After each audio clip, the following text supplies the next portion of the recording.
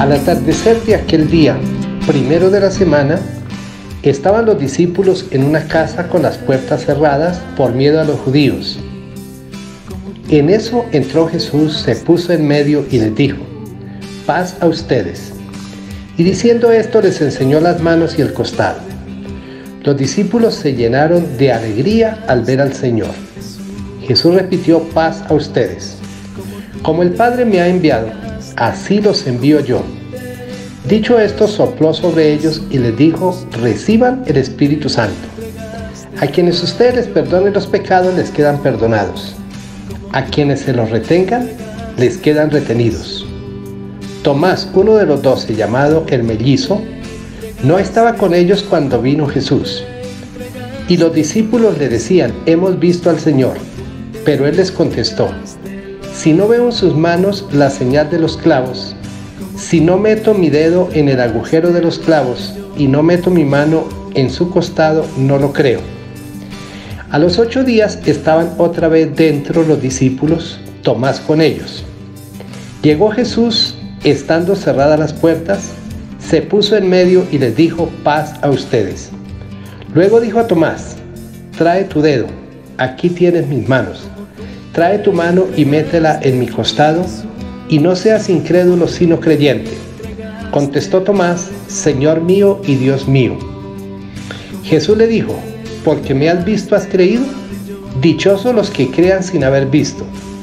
Muchos otros signos que no están escritos en este libro hizo Jesús a la vista de sus discípulos. Estos se han escrito para que crean que Jesús es el Mesías, el Hijo de Dios para que creyendo tengan vida en su nombre. Palabra del Señor. Gloria a ti, Señor Jesús. Mis queridos hermanos, segundo domingo de la Pascua. Este es el domingo de la misericordia, que podemos vivir con un corazón muy abierto a lo que Dios quiere hacer en nuestro corazón. En medio de la comunidad se presenta Jesús con tres grandes bendiciones, regalos para los apóstoles.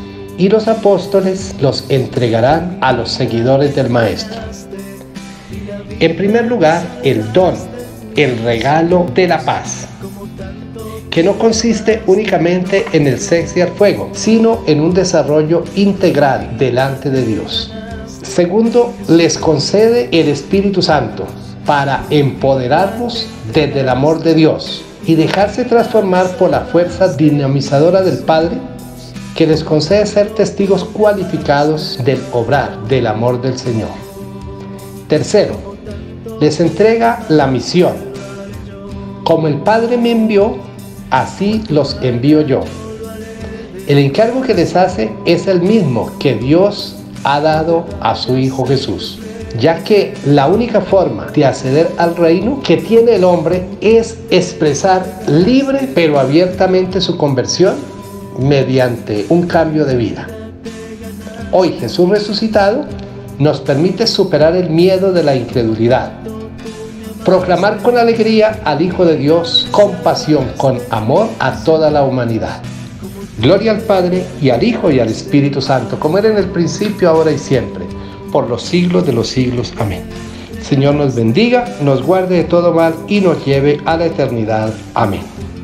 Bendecido domingo en el Señor para todos. La Virgen nos acompaña.